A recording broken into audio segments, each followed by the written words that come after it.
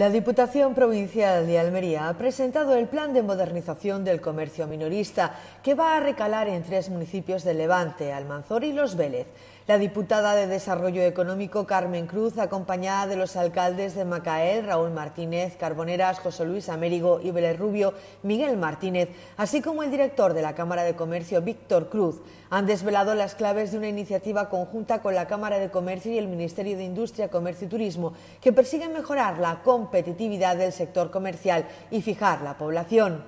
En concreto, este plan tiene la finalidad de apoyar a través del uso de las nuevas tecnologías el turismo y comercio al menor como canal de información al ciudadano y visitante, que permitirá poner en valor y posicionar adecuadamente los lugares con atractivo turístico y los establecimientos comerciales de los municipios que participan en el proyecto. Según Carmen Navarro, esta iniciativa consta de cinco fases e incluye la implantación de señalética digital y de una plataforma de comercios minoristas, Alcom.